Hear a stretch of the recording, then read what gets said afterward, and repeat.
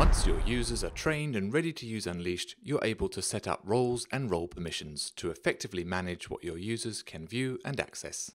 This is done under Settings and Security. Before you can assign users to a role in the system, that role needs to be created and set up in Unleashed. We use a hierarchy system in which you set parent and children roles.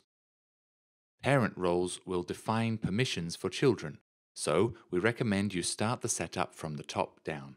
The super user can edit permissions for any role created.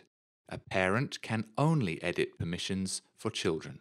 For example, here I've created a manager role with the parent as super user of Unleashed. I've also created a staff role with the parent as manager. As the super user, I am able to define the permissions for manager and staff roles. Manager can only define permissions for staff, and staff is unable to define permissions for any role.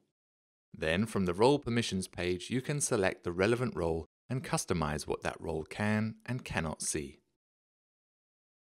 Simply click the padlock to toggle the accessibility. Here, for example, you can ensure that this role is not able to view the margin or profit on a sales order or sales quote, and that it also cannot edit the unit price. Please note that for all other pages besides the sales orders and sales quotes, if the role can see the page, then they can also edit that page.